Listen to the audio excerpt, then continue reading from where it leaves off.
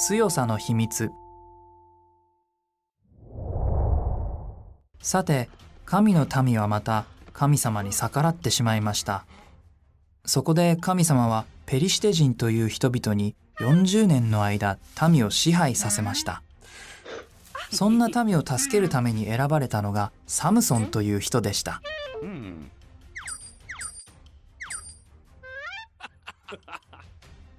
天使がサムソンのお母さんのところに現れて男の子が生まれるという約束をしました。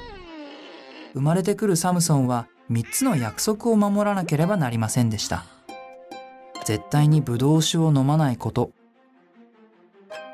死んだものに触らないこと。そして髪の毛を切らないことという3つでした。神様はサムソンをとても強い人にしました。サムソンがライオンを殺すと蜂がその体に蜜を作りました。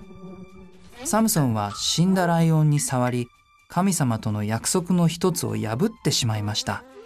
さらにその蜜も食べてしまいました。さてサムソンはデリラという女の人が好きになりました。ペリシテ人はデリラにたくさんのお金を与えサムソンがなぜそんなに強いのかを見つけさせようとしました。デリラは何度もサムソンに聞きました。ついにサムソンは自分の秘密を話してしまいました。髪の毛を切ると力がなくなるんだ。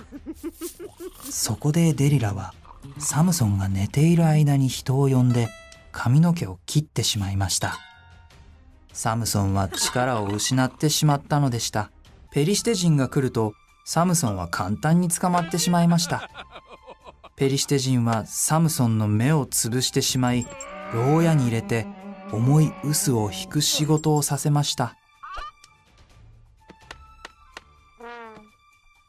しかしサムソンの髪の毛がまた伸びてきました。ある日ペリシテ人はサムソンを神殿に連れて行きました。サムソンを任すことができたことをダゴンという偽物の神に感謝するためでした。